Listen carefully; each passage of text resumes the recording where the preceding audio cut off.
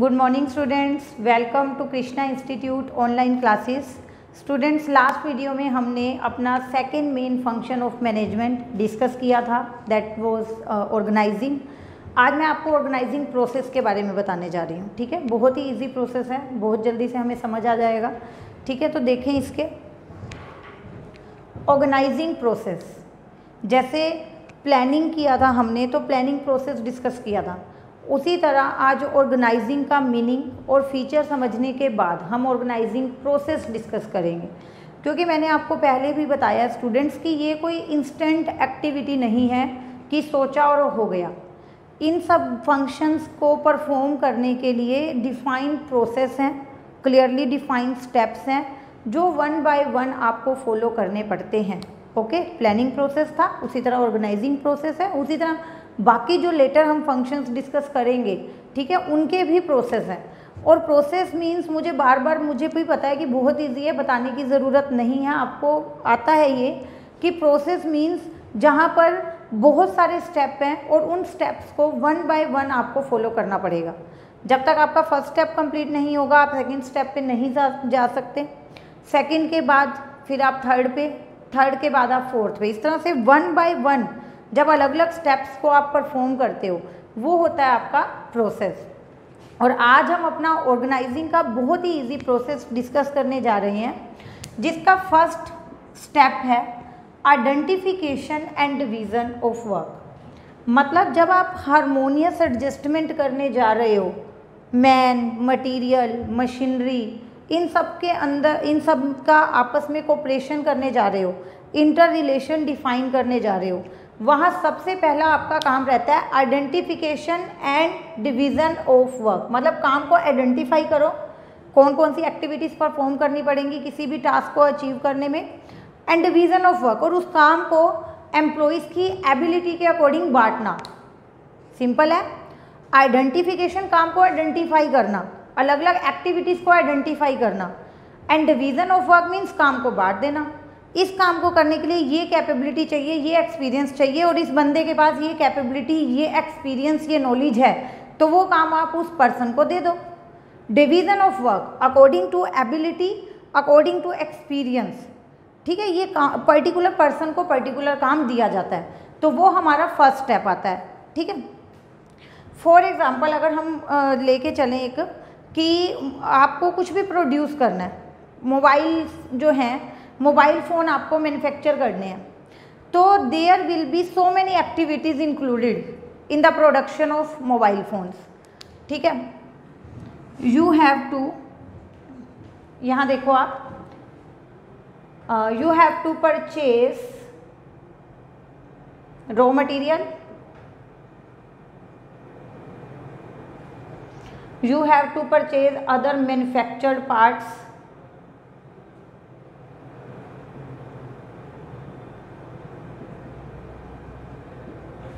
yes.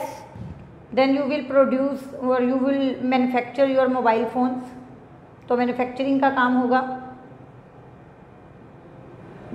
Stock maintain करना पड़ेगा आपको फ़ोन्स का। Stocking of goods okay research करनी पड़ेगी। कहाँ कितनी डिमांड है? कितना इनकम लेवल है कस्टमर्स का? कहाँ मार्केट अवेलेबल है जहाँ मैं अपने फ़ोन्स को सेल कर सकती हूँ? तो इस तरह से आपको रिसर्च करनी पड़ेगी एडवर्टीज़मेंट देनी पड़ेगी मार्केटिंग करनी पड़ेगी ना अपने प्रोडक्ट की। ऐसे तो वो खुद से नहीं आएँगे आपके प्रोडक्ट को ख़रीदने। आपको उन्हें बताना पड़ेगा कि ऐसा कोई नया प्रोडक्ट हम लॉन्च कर रहे हैं और वो आप खरीदो। तो उसके लिए कोई भी मार्केटिंग मीडिया आप यूज़ कर सकते हो। आप ऐड दे सकते हो सेल्स प्रमोशनल टूल्स यूज़ कर सकते हो। ठीक है तो so many ways are there to advertise your product वो आपको चूज़ करना है। अकाउंट्स मेंटेन करने पड़ेंगे। अकाउंटिंग का काम हो जाता है। ठीक है? So student these are the activities जो आपने फ़र्स्ट ऑफ़ ऑल आइडेंटिफाई की और डिवीज़न ऑफ़ काम को बांटा। ठीक है? भी ये काम परचेज डिपार्टमेंट कर लेगा, ये काम प्रोडक्शन डिपार्टमेंट कर लेगा, ये काम मार्केटिंग डिपार्टमेंट कर लेगा। इस तरह से पहले तो आइडेंटिफाई कर लिया कि मोबाइल फ़ोन मैन्युफैक्चर करने हैं तो ये ये एक्टिविटी हमें परफॉर्म करनी पड़ेगी, हमें रॉ मटेरियल परचेज करना पड़ेगा, हमें मैन्युफैक्चर्ड पार्ट परचेज करने पड़ेंगे। फिर हम मैन्युफैक्चर करेंगे, हम स्टॉक मेंटेन करेंगे, हम रिसर्च करेंगे ऐड देंगे फाइनली सेल भी करेंगे, ठीक है, यहाँ लिख देती हूँ मैं सेल करना। अकाउंट्स मेंटेन करना, ठीक है? इंफॉर्मेशन पास ऑन करना कम्युनिकेशन करना अपने डीलर्स के साथ, अपने कस्टमर्स के साथ कोरेस्पोंडेंस ओके स्टूडेंट तो ये सारी एक्टिविटीज़ को मुझे पहले आइडेंटिफाई करना है और डिवाइड करना है काम को। कि कैसे डिवाइड करूँ डिवीज़न कैसे करूँ? इस काम के लिए कितना एक्सपीरियंस कितनी स्किल्स चाहिए? इसके लिए कितनी नॉलेज कितना एक्सपीरियंस कितनी क्वालिफिकेशन चाहिए? इस काम के लिए कितना कितना एक्सपीरियंस जो है वो चाहिए होगा? इस तरह से मैं उस बेसिस पे इसको डिवाइड करूँगी काम को। सो so, जो फ़र्स्ट स्टेप है that is very clear to all of you कि मुझे काम को आइडेंटिफाई करना है एक्टिविटीज़ को आइडेंटिफाई करना है कि एक्स वाई जेड कोई भी मेरा टास्क है उस टास्क को अचीव करने के लिए मुझे कौन कौन सी एक्टिविटी परफॉर्म करनी पड़ेगी। एज अ स्टूडेंट आपको मेरिट लानी है आपको जो है स्कॉलरशिप uh, चाहिए आपको 90 परसेंट रैंक लेके आना है। You have to identify the activities जो आपको करनी पड़ेंगी इस टास्क को अचीव करने में। कि मुझे पहले पढ़ना है, समझना है, उसके बाद मुझे असाइनमेंट सोल्व करनी है, उसके बाद मुझे वीकली टेस्ट देना है, उसके बाद मुझे यूनिट वाइज यूनिट वाइज जो है रिवीजन करनी है, फिर पर्टिकुलर यूनिट का टेस्ट देना है तो स्टेप बाय स्टेप हम चलते रहेंगे। आप ऐसा तो नहीं करते कि पहले टेस्ट दूँगी, फिर पढ़ूँगी। पहले पढ़ेंगे, फिर होमवर्क करेंगे, फिर टेस्ट देंगे ना? कि पहले टेस्ट दे देंगे और फिर हम अपनी क्लास अटेंड करेंगे। तो स्टेप बाय स्टेप का मतलब है कि आपको उस सीरीज़ को फॉलो करना पड़ेगा।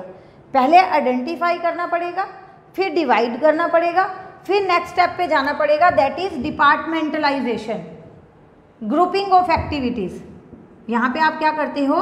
ग्रुपिंग ऑफ़ एक्टिविटीज़ जो फ़र्स्ट स्टेप में आपने एक्टिविटीज़ देखी ना, उनकी अब आप ग्रुपिंग करोगे। फ़र्स्ट स्टेप में जो आपने एक्टिविटीज़ को आइडेंटिफाई किया, डिपार्टमेंटलाइजेशन में आप ग्रुपिंग करते हो, एक्टिविटीज़ को ग्रुप करके एक पर्टिकुलर डिपार्टमेंट बना देते हो। मतलब सेम नेचर ऑफ़ एक्टिविटीज़ का एक ग्रुप बना दिया और उसको एक डिपार्टमेंट को दे दिया। दूसरे नेचर की एक्टिविटीज़ का दूसरा ग्रुप बना दिया, उसको दूसरे डिपार्टमेंट को दे दिया। तो grouping of activities means same nature activities are grouped together उनको एक साथ ग्रुपिंग बना, किया जाता है, एक साथ उनका ग्रुप बनाया जाता है and assign to particular department और किसको असाइन कर देते हैं, वो हम एक पर्टिकुलर डिपार्टमेंट को। प्लीज़ आप इसके साइड बाय साइड जो हैं नोट्स ज़रूर बना लें। बिल्कुल सिंपल लैंग्वेज में मैं करवा रही हूँ आपको ये, कि आपने सेम नेचर की एक्टिविटीज़ को ग्रुपिंग किया और असाइन कर दिया पर्टिकुलर डिपार्टमेंट को। यहाँ वापस आ जाओ। इधर आओ, आप, मैं आपको फ़र्स्ट वाले स्टेप से दोबारा ये क्लियर करती हूँ सेकंड वाला स्टेप कि फ़र्स्ट स्टेप में मैंने ये एक्टिविटीज़ आइडेंटिफाई कर ली। मैं ग्रुपिंग कर रही हूँ इसकी। Purchase of raw material purchase of manufactured part grouping बन गई और मैंने ये वाला काम परचेज डिपार्टमेंट को दे देना है। कितना सिंपल है, देखो। कितना सिंपल है, आ रहा है ना समझ आपको? ग्रुपिंग हो गई रॉ मटेरियल परचेज करना है मैन्युफैक्चर्ड पार्ट परचेज करनी है, कुछ भी और परचेज करना है, जो भी रिक्वायर्ड है आपको कंपनी में। ग्रुपिंग हो गई परचेज डिपार्टमेंट को दे दिया। मैन्युफैक्चर करना है और मैन्युफैक्चरिंग के बाद उसका स्टॉक मेंटेन करना है। ये वाला काम मैं दे दूँगी प्रोडक्शन डिपार्टमेंट को। इजी है? समझ आ गया? रिसर्च करनी है, फिर ऐड देनी है, फिर सेल करनी है। मार्केटिंग डिपार्टमेंट बना दिया, इसके लिए सेलिंग डिपार्टमेंट बना दो मार्केटिंग डिपार्टमेंट बना दो। ये वाला काम वो कर देंगे। अकाउंट्स मेंटेन करना कोरेस्पोंडेंस ठीक है? कुछ भी सेंड करना, और ये सब फाइनेंस अरेंज करना। पैसा वगैरह भी चाहिए हमें तो ये सारा काम मैं फाइनेंशियल डिपार्टमेंट को दे दूँगी।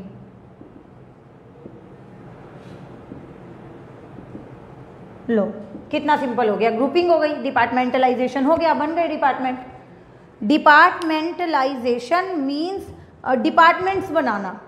डिपार्टमेंट्स कैसे बनेंगे?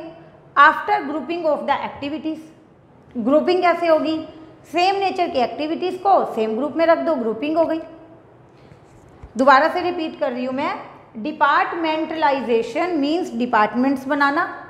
डिपार्टमेंट्स कैसे बनते हैं? ग्रुपिंग ऑफ़ एक्टिविटीज़ के थ्रू ग्रुपिंग कैसे होती है? सेम नेचर की एक्टिविटीज़ को सेम ग्रुप में रख दो. ग्रुपिंग हो गई.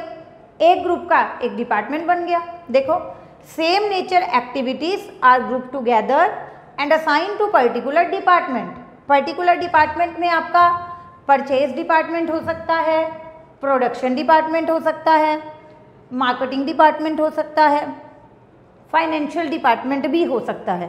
डिपार्टमेंट कितने होंगे वो डिपेंड करता है ऑर्गेनाइजेशन के ऊपर, कंपनी के ऊपर, कि वहाँ किस टाइप का कौन सा काम चल रहा है। अभी कोई कंपनी है जो सिर्फ़ सेल परचेज में इन्वॉल्व है, खरीदती है और बेचती है, फिर उनको प्रोडक्शन डिपार्टमेंट की तो कोई ज़रूरत ही नहीं पड़ेगी। ठीक है, वहाँ पे परचेज डिपार्टमेंट होगा मार्केटिंग डिपार्टमेंट होगा फाइनेंशियल डिपार्टमेंट होगा, वो प्रोडक्शन डिपार्टमेंट का क्या करेंगे, वो तो प्रोड्यूस ही नहीं करते। और या फिर एक एक्टिविटी को दूसरी एक्टिविटी के साथ वो मर्ज भी कर सकते हैं। दैट डिपेंड्स आपको मेन टॉपिक समझ आना चाहिए कि डिपार्टमेंटलाइजेशन का मतलब है डिपार्टमेंट बनाना। ओके अभी मैं बात करती हूँ असाइनमेंट ऑफ़ ड्यूटीज़ की। मैंने एक्टिविटीज़ आइडेंटिफाई कर ली। मैंने डिपार्टमेंट बना दिए। मैं ड्यूटीज़ असाइन करूँगी। काम दूँगी लोगों को अब। मतलब मैं ये सोच रही हूँ कि किससे क्या काम करवाना है। मैं पहले ही अपनी प्लानिंग कर चुकी हूँ, अब मैं ऑर्गेनाइजिंग कर रही हूँ। ऑर्गेनाइजिंग में मैं सोच रही हूँ कि किस डिपार्टमेंट में कितने एम्प्लॉयज़ होंगे और उन एम्प्लॉयज़ को मैं क्या क्या ड्यूटीज़ असाइन करूँगी। क्योंकि जब तक हम किसी को काम देंगे नहीं, वो करेगा नहीं। और अगर मुझे किसी को काम देना है तो मुझे वेल प्लान मैनर में एडवांस में सोच के रखना है डिसाइड करके रखना है कि मुझे इस पर्सन को ये काम देना है, ये ड्यूटी असाइन करनी है। तो मैंने क्या किया? Assignment of duties duties assign करते टाइम स्टूडेंट्स आपको अपने एम्प्लॉयज़ की स्किल कैपेबिलिटीज़ उनकी क्वालिफिकेशन उनका एक्सपीरियंस सब कुछ कंसीडर करके चलना पड़ेगा। जब भी आप ड्यूटीज़ असाइन कर रहे हो तो आपको देखना है कि इस पर्टिकुलर काम को करने के लिए मुझे इतनी क्वालिफिकेशन वाला बंदा चाहिए। तो आप फिर उसके अकॉर्डिंग ही पर्सन ढूंढोगे ना। जब आप आगे जाके थर्ड स्टेप पे जाओगे स्टाफिंग में स्टाफिंग में आप एम्प्लॉयज़ को अपॉइंट करोगे। कैसे अपॉइंट करोगे? क्योंकि यहाँ आपने देख लिया कि इस काम को करने के लिए कितनी क्वालिफिकेशन और कितना एक्सपीरियंस चाहिए। इसके लिए कितना क्वालिफिकेशन और कितना एक्सपीरियंस चाहिए। उसके अकॉर्डिंग ही फिर आप रिक्रूटमेंट करोगे, उसके अकॉर्डिंग ही स्टाफिंग वाला प्रोसेस करोगे। ठीक है? तो ये आपको समझ आ गया ड्यूटीज़ असाइन करना। आपने ड्यूटी असाइन कर दी, आपने परचेज डिपार्टमेंट के मैनेजर को बोल दिया, भी हाँ जी, आपकी ड्यूटी है, आप रॉ मटेरियल भी खरीद के लाओगे, आप मैन्युफैक्चर्ड पार्ट भी खरीद के लाओगे छोटे मोटे कोई टूल्स की ज़रूरत है, वो भी आप खरीद के लाओगे। सीधी सी बात है। यहाँ कोई कन्फ्यूज़न नहीं है कि हाँ जी मशीन चाहिए। तो परचेज डिपार्टमेंट वाले बोल रहे हैं कि हमने नहीं खरीदी तो प्रोडक्शन डिपार्टमेंट वाले खरीद लेते। दैट इज़ नॉट पॉसिबल और ऐसा कोई एक्सक्यूज़ भी कंपनी में नहीं चलेगा परचेजिंग की ड्यूटी आपकी है परचेज आपको करना है। वहाँ आप ये एक्सक्यूज़ नहीं दे सकते, भी हाँ जी, ये वो काम कर लेते या ये कर लेते ये क्यों करेंगे? क्योंकि ये ड्यूटी तो हमने आपको असाइन की थी। ठीक है? अब प्रोडक्शन डिपार्टमेंट वालों का काम है मैन्युफैक्चरिंग का काम करना स्टॉक मेंटेन करना। ये प्रोडक्शन नहीं कर रहे। कल को जब हमारे मैनेजमेंट हमसे जवाब मांगेगी तो ये एक्सक्यूज़ थोड़ा ना दे सकते हैं। कि मैंने प्रोडक्शन नहीं किया तो कोई और कर लेता। यहाँ पर सबको सबका काम असाइन किया जाएगा और जो ड्यूटी आपको दी गई है you have to perform that on time efficiently on time पे आप मतलब अपना टाइम पे काम करो एफिशिएंटली करो रिसोर्सिस की वेस्टेज कम से कम करो टाइम की सेविंग करो, ठीक है? अपना बेस्ट आउटपुट आपको देना है असाइनमेंट ऑफ़ ड्यूटी और बेस्ट आउटपुट अगर आपको लेना है तो आपको भी ये ध्यान में रखना है कि ड्यूटी कैसे असाइन होनी चाहिए? स्किल्स कैपेबिलिटीज़ क्वालिफिकेशन और एक्सपीरियंस के बेस पे। ऐसे ही किसी को रैंडमली कुछ उठा के दे दोगे, फिर वो नहीं करने वाला काम। फिर ना आपको परफेक्शन मिलेगी रिसोर्सेज भी ज़्यादा वेस्ट होंगे टाइम भी ज़्यादा वेस्ट होगा।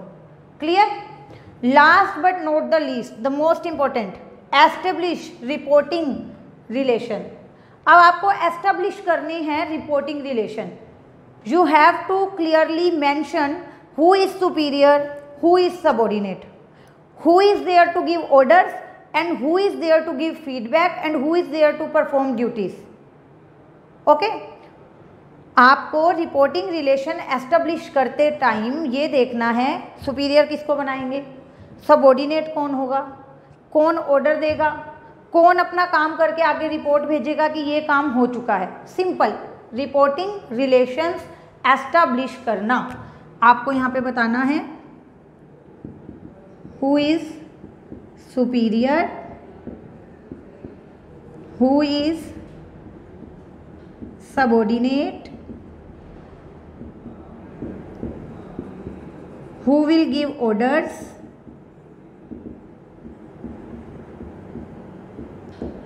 who will report to whom who will report to whom कितना इजी है।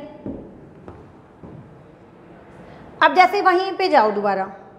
परचेज डिपार्टमेंट में एक मैनेजर अपॉइंट किया मैंने, ठीक है? तो जो परचेज डिपार्टमेंट का मैनेजर है, वो क्या होगा? सुपीरियर परचेज डिपार्टमेंट में जितने भी एम्प्लॉयज़ काम कर रहे हैं, वो कौन होंगे? सबॉर्डिनेट ऑर्डर कौन देगा? मैनेजर देगा, या मैनेजर ने अगर सुपरवाइजर्स और फोरमैन अपॉइंट किए हैं तो वो ऑर्डर देंगे। रिपोर्ट कौन किसको करेगा? एम्प्लॉयज़ जो हैं।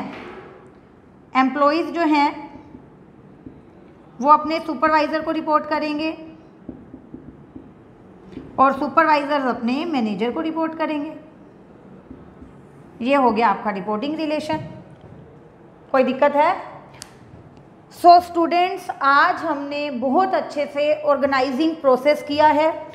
इसको अगर आप अच्छे से समझ लेते हो तो आपको बुक भी पढ़ने की ज़रूरत नहीं है। स्टिल अपना कॉन्फिडेंस बनाए रखने के लिए टॉपिक को बहुत अच्छे से करने के लिए अगर आप कोई बुक रेफ़र करो तो कोई प्रॉब्लम नहीं है।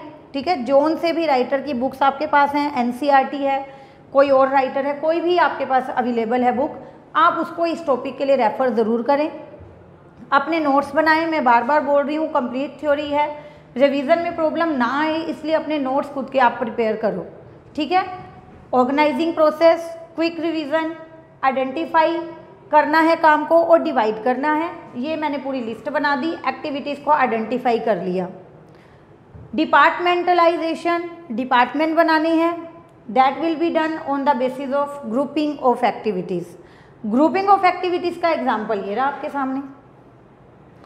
Then assignment of duties duties assign करते time you have to consider the skills capabilities qualification and experience क्योंकि अगर आपको बेस्ट आउटपुट चाहिए तो। Last establishing reporting relation you have to clearly mention who is superior who is subordinate, who will give order, who will report to whom. अगर आप ये process अच्छे से फॉलो करते हो स्टेप बाय स्टेप तो ही आप जो हारमोनियस एडजस्टमेंट का लेके चल रहे थे, एक आइडिया अपने माइंड में, वो आप कंप्लीट कर सकते हो। ठीक है? तो ही जो आगे वाले स्टेप हैं, चाहे वो स्टाफिंग है, चाहे वो डायरेक्टिंग है, चाहे वो कंट्रोलिंग है, वो सारे काम भी हमारे अच्छे से होंगे। वो सारे फ़ंक्शंस भी बेस्ट वे में परफॉर्म होंगे, अगर हम अपना ये वाला प्रोसेस अच्छे से फॉलो करते हैं। ठीक है स्टूडेंट्स नेक्स्ट वीडियो तक के लिए आप इसे रिवाइज करें। Thank you so much